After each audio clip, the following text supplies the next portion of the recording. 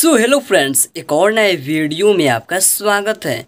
क्या आप भी स्टेट बैंक के कस्टमर हैं और नेट बैंकिंग का इस्तेमाल करते हैं और यह जानना चाहते हैं कि आपके बैंक खाता में आधार लिंक है या नहीं तो यह वीडियो आपके लिए है। इस वीडियो में आपको बहुत ही आसानी से घर बैठे ही आप यह पता कर सकते हैं कि आपके बैंक खाता में आधार लिंक है या नहीं। तो चलिए इस वीडियो को शुरू करते हैं। एसबीआई बैंक में आधार लिंक है या नहीं, नेट बैंकिंग से जानने के लिए आपको सिंपल ही अपने मोबाइल फ़ोन पर क्रोम को ओपन करना है और इस वीडियो के डिस्क्रिप्शन में आपको एक लिंक मिलेगा। आप उस लिंक पे क्लिक करेंगे तो आप सीधे इस पेज पे चले आएँगे। अब आपको यहाँ पे ऊपर में आपको पर्सनल बैंकिंग दिखेगा। इसमें आपको यहाँ पे बगल में लॉगिन का ऑप्शन दिखेगा। सिंपल ही आपको इस लॉगिन वाले ऑप्शन पे क्लिक करना है।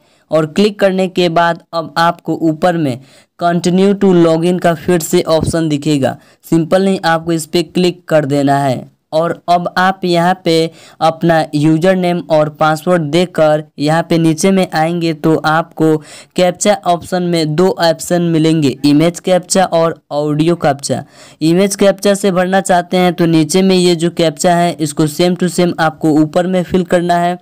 और ऑडियो कैप्चर से बढ़ना चाहते हैं तो सिंपल नहीं, आप इस ऑडियो कैप्चर पे क्लिक करें और यहाँ पे आप प्ले करेंगे तो आपको आवाज़ सुनाई देंगी। और जो आवाज़ सुनाई देगा, आपको यहाँ पे उसको फिल करना है और आपको यहाँ पे लॉगिन पे क्लिक कर देना है। अब आपके मोबाइल नंबर पे जो बैंक से लिंक होगा, उस पर ओ सेंड किया गया होगा। आपको सिंपल उस ओटीपी को यहाँ पे फिल करना है और सबमिट पे क्लिक कर देना है। और अब आपके सामने जो है नेट बैंकिंग का फ़र्स्ट इंटरफेस कुछ इस तरह से दिखेगा। अब आपको करना क्या है, ऊपर में थ्री लाइन का आपको ऑप्शन दिखेगा। सिंपल नहीं आपको इस थ्री लाइन वाले ऑप्शन पे क्लिक करना है और इसमें आपको फ़र्स्ट ऑप्शन ही माई अकाउंट्स एंड प्रोफ़ाइल आपको दिखेगा। आपको इसी पे फिर से क्लिक करना है। और क्लिक करेंगे तो अब आपके सामने बहुत सारी ऑप्शंस देखने को मिलेंगे। आपको इन सभी ऑप्शंस में से यहाँ पे प्रोफ़ाइल का ऑप्शन दिखेगा। ऊपर से तीसरा नंबर है तो आपको सिंपल है इस प्रोफ़ाइल वाले ऑप्शन पे क्लिक करना है। और जैसे ही आप इस पर क्लिक करेंगे तो अब आपके सामने जो है फिर से ढेर ऑप्शन देखेंगे। आपको सबसे ऊपर में ही माई प्रोफ़ाइल का ऑप्शन दिखेगा। आपको सिंपल ही इस पर क्लिक करना है। और जैसे ही आप इस पर क्लिक करेंगे तो आपका प्रोफ़ाइल पासवर्ड मांगा जाएगा। नेट बैंकिंग बनाते समय आपने जो प्रोफ़ाइल पासवर्ड बनाया है, आपको यहाँ पे उसको फिल करना है। फिल करने के बाद आपको सबमिट पे क्लिक कर देना है।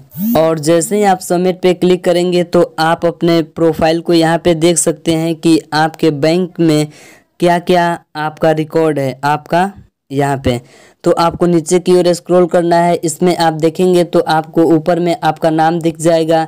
यहाँ पे आपको एड्रेस दिखेगा, आपका शहर दिखेगा स्टेट जिप यानी कि आपका पिन कोड किस कंट्री से है, वहाँ, यहाँ पे, ऐसे तो इंडिया से हैं। तो आपको यहाँ पे दिखेगा, आपका डेट ऑफ़ बर्थडे बर्थ जो होता है, यहाँ पे दिख जाएगा।